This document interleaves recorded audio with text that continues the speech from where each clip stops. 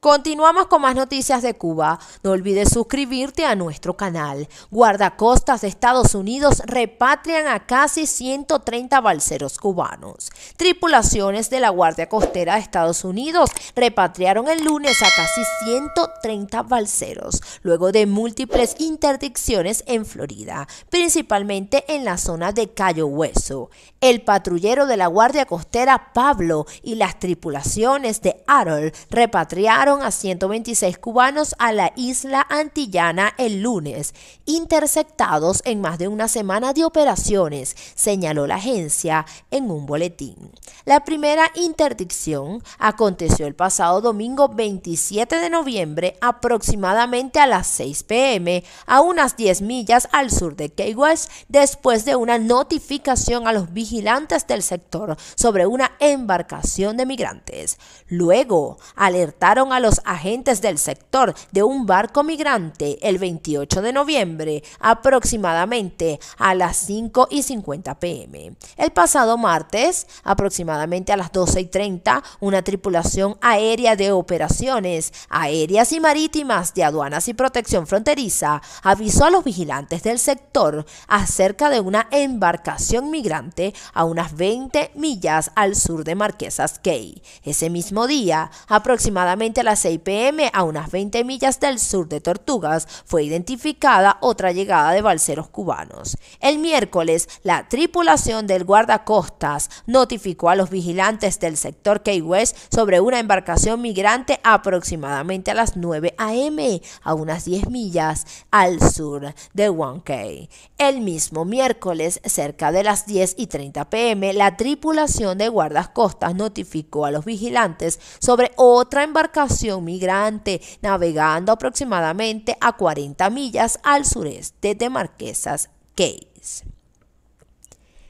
Las autoridades estadounidenses siguen desalentando las peligrosas travesías marítimas de los migrantes, pero los reportes continúan de manera asidua. Tripulaciones de la Guardia Costera y agencias asociadas están patrullando el estrecho de Florida y los pasajes de Barlovento y Mona para evitar la trágica pérdida de vidas de estos viajes marítimos peligrosos e ilegales, dijo el teniente Paul, Distrito 7 de la Guardia Costera, por su seguridad, la de sus amigos y la de su familia, no se haga al mar, enfatizó. Continuamos con más noticias. No olvides suscribirte a nuestro canal. La UNE pronostica un día sin apagones en Cuba. Buenas noticias. La Unión Eléctrica pronosticó que este martes 6 de diciembre no habrá apagones en Cuba durante el día. Se estima que en el horario diurno no se afecte el servicio por déficit de capacidad en el Servicio Eléctrico Nacional, informó la empresa este martes en sus redes sociales. No obstante, aclararon que en la noche sí habrá afectaciones. Se estima para la hora pico una disponibilidad de 2.533 y una demanda máxima de 2.900, lo que ha de mantenerse las condiciones previstas en el día de ayer se afectó el servicio desde las 3 y 52 horas hasta las 7 y 51, que quedó restablecido el servicio en el CEN por déficit de capacidad de generación. La máxima afectación en el horario de la noche fue de 536 a las 6 y 20 horas, coincidiendo con la hora pico, detalla la nota oficial. Asimismo explicaron que actualmente se encuentra fuera de servicio por avería las unidades 5, 6 y 7 de Mariel, la talla piedra, la unidad 3, en Santa Cruz, la unidad 4, Nuevitas y la unidad 2 en Felton. Se encuentran en mantenimiento las unidades 3 y 6 de la rente. Se mantienen las limitaciones en la generación térmica, en la generación distribuida. Están disponibles por avería y en mantenimiento para el horario pico se estima la entrada en motores diésel. A finales de noviembre, el ministro de Energía y Minas, Vicente, aseguró que en diciembre disminuirían los apagones en el país. Ratificamos el compromiso de disminuir las afectaciones a la población en el mes de diciembre, aseguró el funcionario en la entrevista. La promesa de menos apagones en diciembre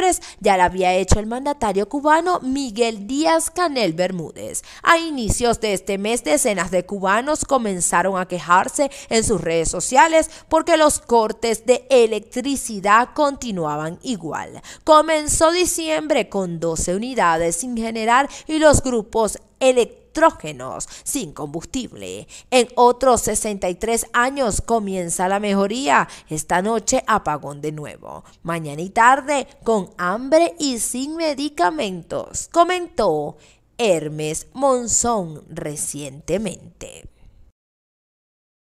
Continuamos con más noticias de Cuba. No olvides suscribirte a nuestro canal Cuba de Luto. Emotivos mensajes tras el fallecimiento del profesor de judo Ronaldo Beitía. Decenas de cubanos han recordado al entrenador de judo Ronaldo, quien falleció este lunes en La Habana a los 75 años. La ex atleta y actual entrenadora Daima Mayelis Beltrán Guisado, ganadora de plata en Isney 2000 y en Atenas 2004, publicó en sus redes sociales un emotivo homenaje a Beitia, quien fuera su profesor por casi dos décadas.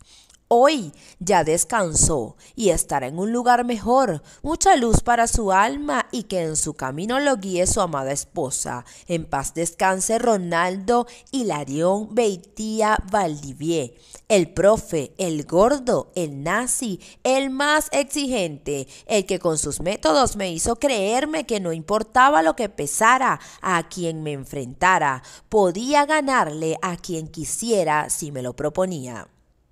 El maestro Ronaldo atesoró como entrenador casi 50 preseas en campeonato mundial.